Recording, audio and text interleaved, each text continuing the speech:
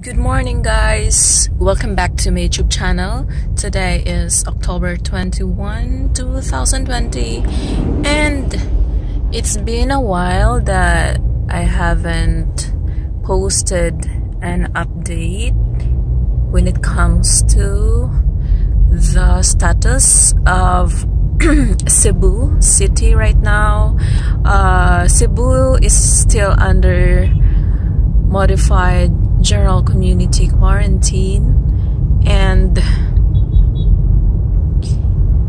medyo okay naman siya. Medyo uh, nagagmay gamay na ang cases na alay for example in Mandaue in a day na I5 uh, sometimes two two cases in ana lang. So makalipay siya guys. Makalipay siya nga inana na ba? And then right now wala gihapoy mga jeepneys na nag-operate sa Cebu. Uh, I don't know when. Uh, mga buses lang gihapon as usual. And then as you can see it's already 8 o'clock in the morning and This is how it looks like. Luag kaayo ang ato ang kadalanan, guys. So, dili ta late. And then, what else? Uh, for the protocols, uh, the same thing. Sa mga malls, mangita gihapon sila og quarantine pass and or say COE or a Certificate of Employment and then you are required to wear face shield and mask at the same time when you're inside the mall and any commercial facilities or establishments. And then, kumusta naman mo? How are you? Uh, kumusta ang online classes, ang modules? Um, ako rag yung ikastorya ba uh, if I am to ask about my opinion when it comes to the modules. Um, dili lang siguro na to pugso no nga kanang ma-perfect yun ang bata ba nga perfect yun iyahang tanang answers So, we'll take it slow siguro. Hanabang, kay, I don't know, for me ha, useless man good nga, mag-answer ta nga ang bata. Wala kay baloon sa atong gi-answer and what it is what what is it all about? So siguro hinay-hinay lang nato siya nga i-discuss nga mao ni mao na. Dili gid ingon nga blind ang bata nga hala humana dito answer tanan ginsira na dito tanan. Ah okay na to. And then wala gyud siya kabalon sa atong gihimo sa module di ba? So step by step lang siguro.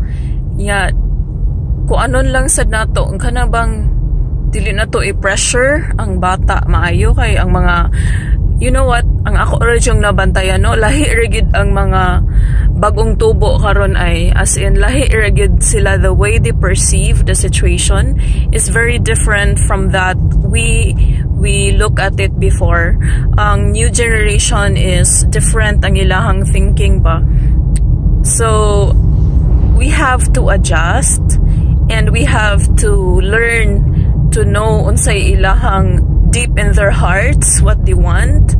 Inana ba kay we cannot just say nga oh ako lagi inani man lagi ko sa una. We we know we cannot compare gyud lahi ra guys. So we will kuan jud ato yung i-check ang ilahang uh, level inana kay different kuan man ang bata different approach even their uh, approach sa learning eh, very different some are visual some are audio some are uh, mas maka-learn sila kung mag maglihok sila it's kinetic learning so it's very different and all kids are not the same so let's also stop comparing our kids from other kids nga mga oh si kuan human na ikaw wala pa blah blah blah Diba? It's, it doesn't feel good. It doesn't feel right to them. Sumarabag kita nga as a parent kita unta maoy mo encourage for them para nila encourage encourage na to sila. So anak lang siguro no? Kay ang ang situation ba karon is very different. Like for example dili sila pwede kagawas. So kita gani guys. Uh, let's say one month ang away gawas-gawas di ba? How would we feel? And for them sila wala sila gawas-gawas. Luoy kay sila. So luoy ba ya ang katong mga nag-suicide no? So lawakan natin ang ating pag pag sana pag understand yes um we have to widen our understanding sa mga sitwasyon. So laban. Laban mga inahan mga parents. Inana lang yun. Ato lang yun silang i-guide. Kay dili baya sa yon sa ilahang sitwasyon. Kung for us um, dili sa yon para nato nga matured na ganita ha dagko na ta inana mas makasabot na ta sa unsay sitwasyon. Unya uh, para nato dili na sayon how much more sa ilaha nga mga linghod pa sila o panghuna-huna? Inana gani.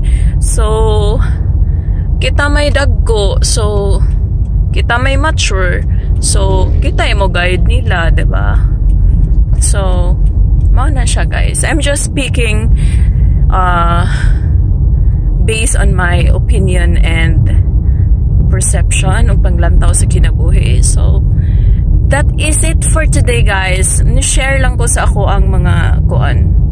Unsa ni unsay pwede na akong ma-share. That's that's it for today. Thank you for watching. Stay safe, healthy, and happy everyone. Bye-bye. Till my next one.